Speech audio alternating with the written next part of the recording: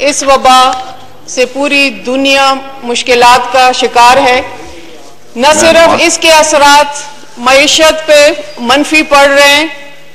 कीमती इंसानों का ज़िया हो रहा है बल्कि एक जहनी इश्तराब है जो कि पूरी दुनिया के आलम तमाम इंसानों को लपेट में ले रखा है। जनाब स्पीकर आ, हम शुक्रगुजार हैं असद कैसर साहब अल्लाह ताला उनको सेहत कामला अता फरमाए कि जिन्होंने पार्लिमानी कमेटी तश्कील दी कोविड 19 के हवाले से और तमाम पार्टियों को ऑन बोर्ड लिया और उनकी सजेशंस और प्रपोजल को मद्देनजर रखते हुए कुछ तो उस पर अमल दरामद हुआ लेकिन बाकी अभी तक पाइपलाइन में है। मैं उम्मीद करती हूँ कि आज जो स्पेशली इस इजलास को बुलाया गया है फखर इमाम साहब की सरबराही में अबाउट दी वर्चुअल सेशन जो डिमांड किया गया था। इंतहाई कीमती लम्हात हैं। जनाब स्पीकर एक एक लम्हा मैं समझती हूँ इस क्रूशल वक्त में हमारा जो है वो कीमती है कि हम इस पूरे ईवान को यकजा करें जो हमारे प्रोपोजल्स हैं, चाहे ट्रेजरी की तरफ़ से हो, चाहे अपोजिशन की तरफ़ से हो, उनको आप कंसिडर करें और इस वबा से छुटकारा हासिल करें और एक जाम मरबूत पॉलिसी अवाम को दे, जो कि अवाम मुस्तरब है और आज देख रही है इस ईवान की तरफ़। जनाब स्पीकर तमाम दुनिया में जितने भी हमने देखे हैं, पार्लियामेंट ऑन सेशन है, और उनकी एक पॉलिसी आ रही है अवाम के लिए, और उसका फ़ायदा भी हमें नज़र आ रहा है। लेकिन यहाँ पे अगर हमें कोई फ़ायदा इससे नहीं हुआ तो ये हमारे लिए बहुत बदकिस्मती होगी कि हम अपने जानों पे केल के यहाँ पे आए हैं, लेकिन अवाम को रिलीफ नहीं दे सके। तो मेरी दरख्वास्त होगी कि जो भी सजेशंस आए, उसको आप प्रैक्टिकली मुमकिन भी बना सकें। स्पीकर अगर proper measures and proper time लिए जाते बॉर्डर पे तो शायद ये सूरत हाल अक्सर मुख्तलिफ़ होती। जो हुआ, सो हुआ, लेकिन आइंदा आने वाले वक्त में जो है, ये गफलत ना बरती जाए।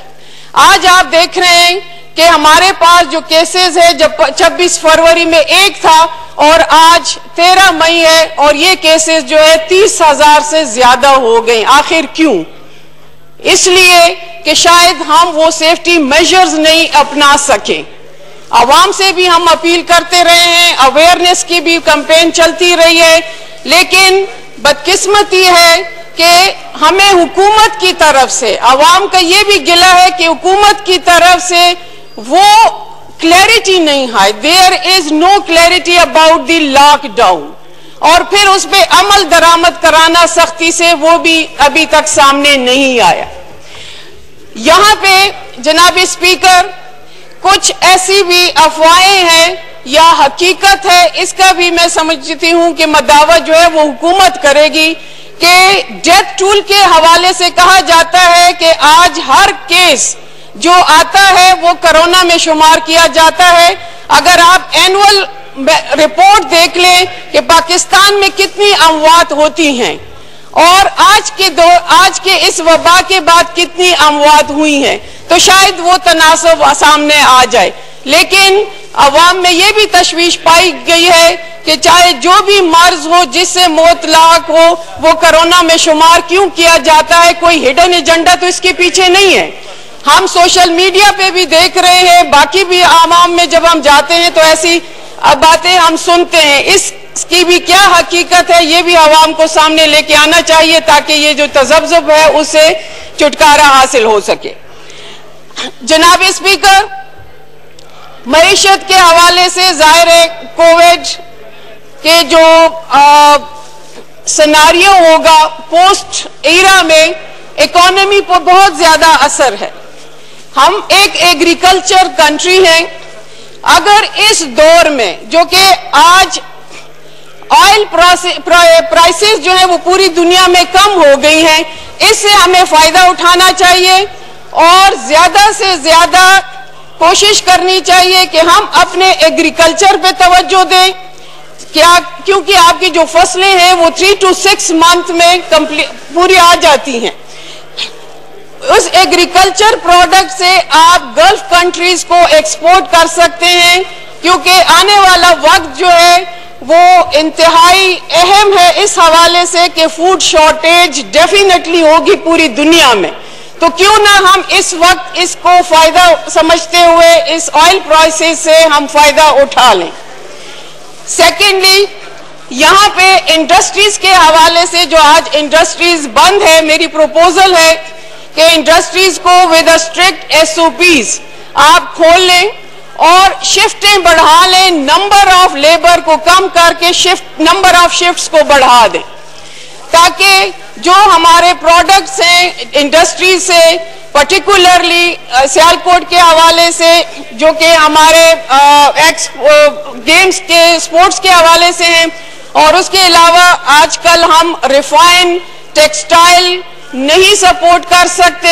उसकी जगह आजकल आप जो है पैरामेड जो आपके फार्मास्यूटिकल आइटम्स हैं, उसको अगर हम इंक्रीज कर दें और जो मास्क और डिफरेंट गियर हैं पीपीईज हैं, उसकी प्रोडक्शन करें। न सिर्फ़ अपनी मुल्क की कमी को दूर करें, बल्कि एक्सपोर्ट पॉसिबल कर दें, क्योंकि आपने वक्त से फ़ायदा उठाना है। हमारे पास स्किल्ड की कमी नहीं है, हमारे पास यहाँ पे इसके बनाने की कोई कमी नहीं है। इसी तरह, जनाब स्पीकर आईटी पीटीए को मैं खराज तहसीन पेश करूँगी कि इस वक्त उन्होंने जिस तरह सहूलत प्रोवाइड की है तो ये आईटी का दौर है। और आपने जो है इस आईटी अपग्रेड करना है। क्योंकि हमारे स्टूडेंट्स जो हैं, घरों में बैठे हुए ऑनलाइन एजुकेशन इनको अगर आपने देखनी है तो आपने आईटी को अपग्रेड करना है। इस पे आपको तवज्जो देने की ज़रूरत है। जनाब स्पीकर कुछ बातें हमें हॉस्पिटल की तरफ़ से आती हैं, अस्पतालों से। गिले शिकवे आते हैं पैरामेडिक्स के डॉक्टर्स के। वहाँ पे अगर आपने आज उनका जो पे स्ट्रक्चर है जो उनकी जॉब सिक्योरिटी है। अगर इस दौर में आप उनको सिक्योर करें तो ये भी इस हुकूमत का कारनामा होगा, क्योंकि वो फ्रंट लाइन सिपाही है और अपने जानों पे खेल के वो लोगों को बचा रहे हैं। तो उनकी इस तशवीश का भी अजाला हुकूमत ने करना है। मेरी ये भी प्रपोजल है कि उसको भी मद्देनजर रखा जाए। जनाब स्पीकर यहाँ पे बात हुई है मुख्तलिफ़ सूबों के हवाले से। तो केपीके का अगर मैं ज़िक्र करूँ तो आज सब, सबसे ज़्यादा केसेस केपीके में अमवात हैं, रिपोर्ट हो रही हैं। इसका भी आपने देखना है कि आखिर इसकी वजह क्या है। आप एसओपीस पे अमल दरामद के लिए, आपको एक जामे अमल दरामद करवाने के लिए हुकूमत की रिट भी कायम करनी होगी, क्योंकि हमारे अवाम जो है, उस तरह इसको सीरियस नहीं ले रहे। और जब तक हुकूमत की तरफ़ से सीरियसनेस नहीं आएगी, मैं नहीं समझती कि इसमें कोई कमी आ सकती है। जनाब स्पीकर एहतसाब का नारा इस हुकूमत का है और मैं चाहूँगी कि जहाँ पे या प्रोक्योरमेंट के हवाले से यहाँ पे पेपर रूल्स को रिलैक्स कर दिया गया है ताकि इस वबा से निमटने के लिए चीज़ें दरामद भी कर सकें और उस पर प्रोवाइड भी कर सके। तो मेरा ये मुतालबा होगा कि एक प्रॉपर मॉनिटरिंग कमेटी बनाई जाए जो कि इस वबा के हवाले से जो रिलीफ फंड है जो हुकूमत के पास कलेक्ट होता है उसकी प्रॉपर मॉनिटरिंग होनी चाहिए एक ट्रांसपेरेंसी होनी चाहिए कि उसकी डिस्ट्रीब्यूशन किस तरह हो, हो रही है। जनाब स्पीकर इस दस मिनट से ज़्यादा हो गए हैं आप अपनी बात को इस करें। मैं खत्म करने वाली हूँ इस पे। जनाब स्पीकर अगर अठारहवीं तरमीम का इशू हुकूमत ने उठाया इस सेंसिटिव वक्त में कहीं पे नैब की तरामीम के हवाले से बात हो रही है तो हमारा जज्बा ईमानी भी हमारी party J I Muttahida Majlis Amal M M A आपसे पुरजोर मुतालबा करती है कि जो पिछले दिनों कायदियानियत के हवाले से कैबिनेट में जो सूरत हाल सामने आई है, हुकूमत इसका भी हमें जवाब दे। शुक्रिया। बहुत शुक्रिया जी। जी जनाब, शफकत महमूद साहब।